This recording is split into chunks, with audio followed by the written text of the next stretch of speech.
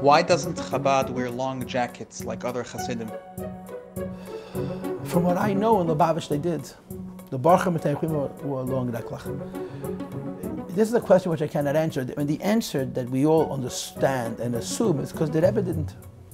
The Rebbe in America wore a short suit and a fedora hat, in other words, the brim down, and that became the, the dress of Chassidim.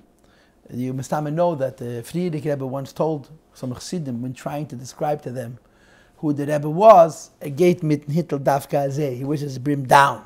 And under the hat he has Bavli and Yerushalmi and Sifra and Sifri and Mechilta and so on and so forth. Um, but I'm assuming that that's where the dress is from.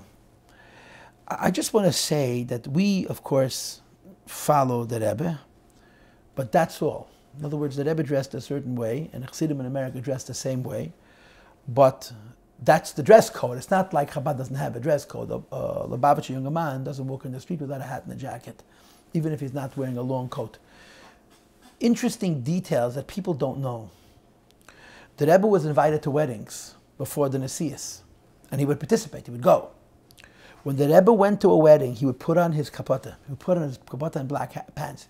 He would put on and his black hat. He put on bigdei Shabbos. In other words, the Rebbe wanted that when a, a person goes to a wedding, he puts on his Shabbos clothes, not just a suit, but a kapota. We, I haven't seen Anash adopt this custom that whenever you go to a simcha, you put on a bigdei Shabbos because the Rebbe used to, you can see the photos. The Rebbe would actually put on his Shabbos clothes when he participated in the wedding of the various different Hasidim that he participated in.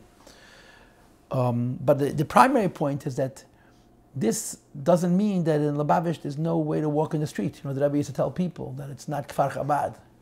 Chabad, you can walk around in a shirt. In New York, you have to walk around with a hat and a jacket. This is the code of a chassid, and um, it's taka different than everybody else, but a chassid is supposed to be different than everybody else.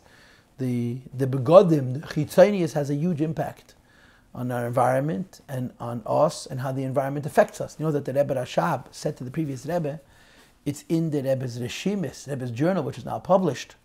Quote, Ich bin mekane pele The Rebbe Rashab said, I envy the pele In other words, the Rebbe Rashab observed that in Chabad there's no chitzonius, which means there's no preoccupation with dress and other external forms.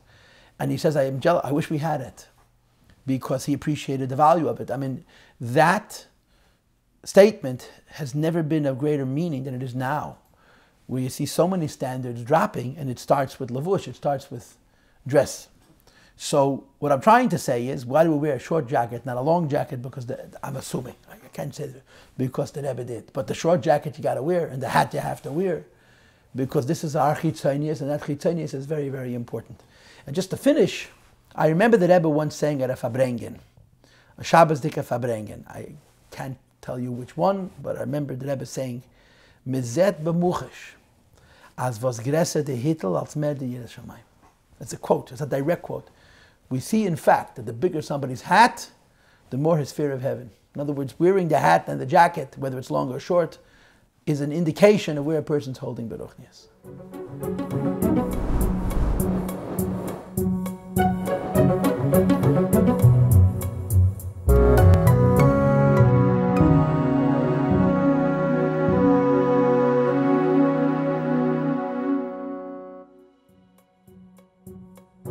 Thank